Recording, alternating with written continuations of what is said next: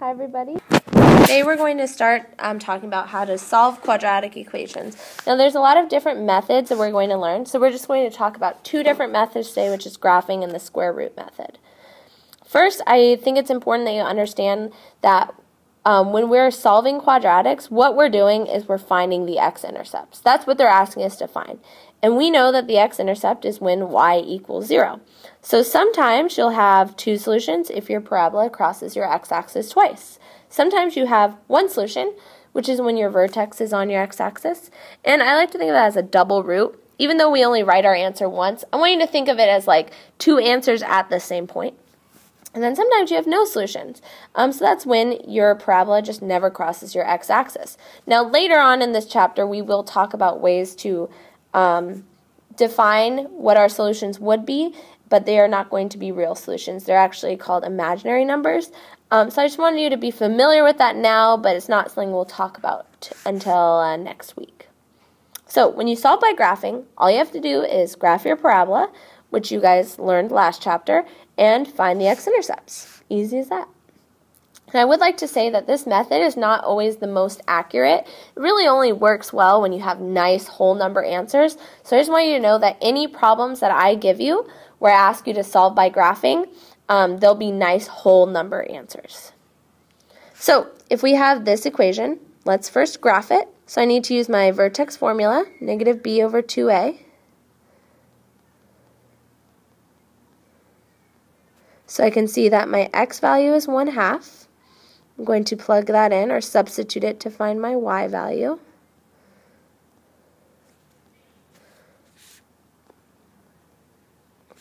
I'm going to change my denominator while I can. Oops, over 4. So I get y equals negative 25 fourths, which is negative 6 and a fourth. Okay, so I'm going to, uh-oh. Hmm. Sorry, guys. Let me pause the video. All right, sorry about that. Um, let's graph our vertex at 1 half negative 6 and a quarter. I'm going to follow my 1, 3, 5 ratio.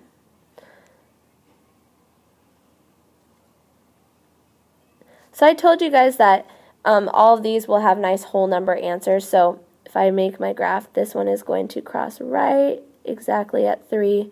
This one will cross right exactly at negative 2. So since my x-intercepts are negative 2 and 3, my answers are negative 2 and 3. That's it. Alright, at this point, I'm going to ask you to pause the video and give this problem a try.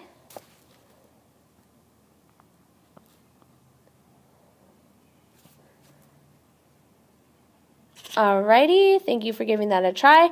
So you can see that first I wrote my equation in standard form, so I could use um, my vertex formula to find my vertex. So I got x equals negative 1, y equals 0.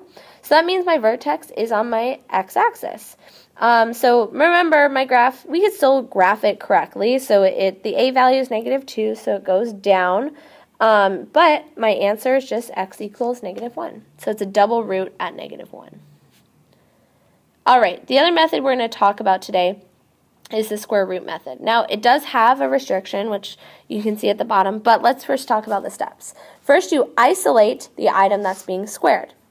Once you've done that, you have to take the plus or minus square root of both sides. Now, this method doesn't work if you have an x square or an x term uh, in your equation. However, um, there are a lot of quadratic equations that do not have that x term. So it, this method can be extremely useful, and it's typically quick and easy to use. So let's give it a try. Here's my x squared term. I'm going to isolate it. So I'll start by adding 31 to both sides, dividing by 4. From here, my next step is to take the plus or minus square root of both sides. Now squares and square roots are inverses, so they cancel each other out. And look, I'm already done solving for x. Now all I need to do is simplify my radical, which is 2 root 5, and here's my answer. So notice, I do have two answers here. I have positive 2 root 5 and negative 2 root 5. So that's why it's really important that you remember that plus or minus, because if you leave it out, you're leaving out an entire answer. All right, let's try another one. Here, let's isolate our variable or our squared term. And then we'll take the plus or minus square root of both sides. So as soon as you see something like this, where you are taking the square root of a negative, you can stop and you can write no solution. Because you cannot take the square root of a negative number and receive a real number. So I'm actually going to add in something here, no real solution. But right now we're just going to talk about only real numbers, so there's no solution. Later on, as I mentioned earlier, we are going to talk about what's called imaginary number. But in terms of numbers you would see on a number line, this is these are not real solutions. Now let's just visualize what's happening here. This is still just a parabola. And you can actually tell what your vertex is. It, h is 0, k is 9. So my vertex is 0, 9. So it would be somewhere up here if I count by threes. And it's a positive parabola, so it's going up. So it's still a real parabola. It still has a vertex and a line. It just never crosses my x-axis. All right, here's the last example we're going to try together. So in this case, it's a little different because x is not the only thing being squared. It's x plus 3. So that's what I need to isolate. So I'll start by multiplying both sides by 5 and then dividing both sides by 2. You could do that in the same step if you wanted. And then I'm going, from here, it's isolated, so I'm going to take the plus or minus square root. I don't need my parentheses anymore. x plus 3 equals the plus or minus square root of 25 over the square root of 2. Now, before we finish solving, let's work on simplifying this. I know that the square root of 25 is 5. However, you can't simplify the square root of 2. The only problem is there's a rule in math that you cannot leave a radical in your denominator. So we need to make sure that that radical goes away. And that process is called rationalizing. We need to rationalize our denominator. We'll talk more about this later in the year, but the quick way to do this is by taking your radical and by multiplying it to your numerator and denominator. I do want to remind you that root 2 over 2 is equal to 1. I'm multiplying by 1, so that's why it's a legal math move. Now let's talk about why it works. So 5 times the square root of 2 is just 5 root 2.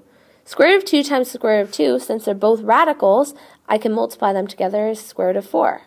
Well, luckily, square root of 4, you can simplify and it just becomes 2. So now I no longer have a radical in my denominator. My last step is going to be to finish solving for x. So I need to subtract 3 from both sides.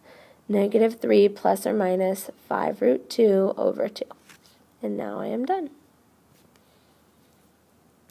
Okay, um, I want you guys to try this last problem. See if you can replicate the same steps that we talked about earlier.